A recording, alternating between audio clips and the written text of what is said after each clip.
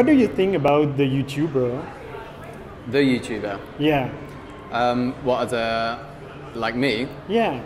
I think it's good Why? because I get to choose what content I put on the internet.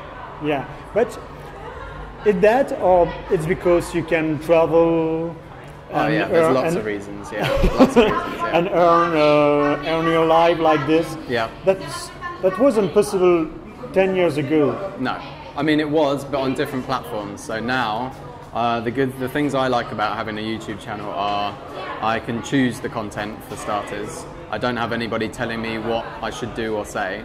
So I and I'm my own boss, and I can travel, and I have an opportunity to have a positive impact on the people that watch my videos. Mhm.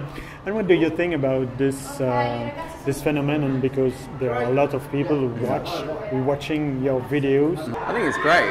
I think as long as I, I think I have um, not that many people watching my videos, but I feel like Well, there is yes, quite yeah, okay, a few. okay. people. What, what is not many?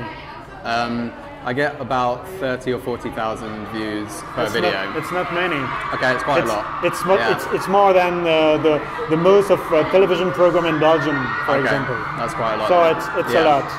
No, And- I think I think it's quite important to me that I don't waste the time of the people that are watching my videos. Mm-hmm. So um, I think there's a lot of space on YouTube. Is mostly just entertainment. Yeah. But if you can tie in entertainment with having a good impact on your audience and kind of inspiring them to be better people and Yeah. to maybe do more with their life, that's what I want to do. So And- it's and- kind of difficult because I'm encouraging them to watch YouTube and sit in front of the computer, but at the same time, I want them to get away from the computer and go and do real life as well. Mm-hmm.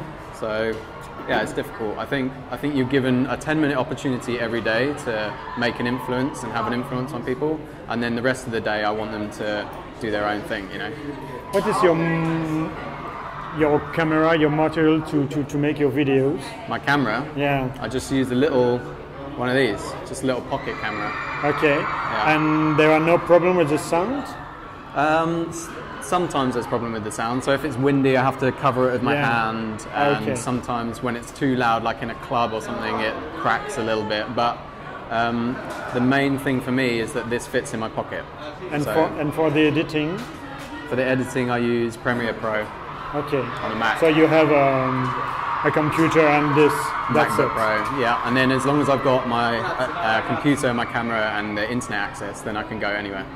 What is your your best souvenir for your videos? Um, my best experience through Yeah. YouTube probably was uh, going to India with JacksGap. Yeah, and the I had rickshaw an, run. the rickshaw run, and then I had an opportunity while I was there to collect footage for videos that I make called Visual Vibes, which is more of a film.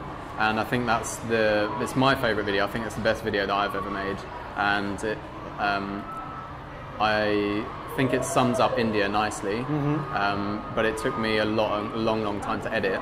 Um, but I think it's worth it in the end. Yeah, I think I think India is the best experience I've had through YouTube so far. Okay, thank you. You're welcome. Have a good day here Thank in you. Milano.